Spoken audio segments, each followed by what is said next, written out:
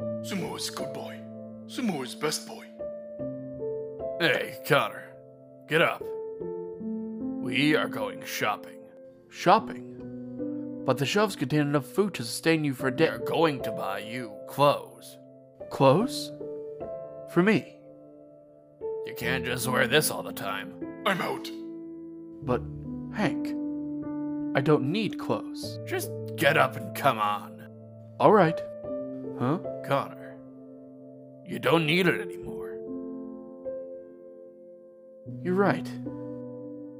What exactly makes you an expert on clothing, Hank? Hey, I have an excellent sense of fashion.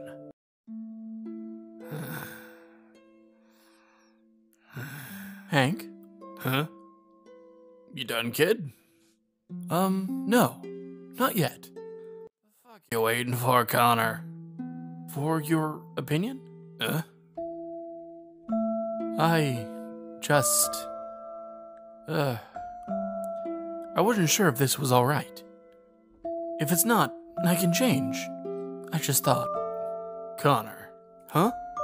calm down. You look great, son. Thank you, Dad.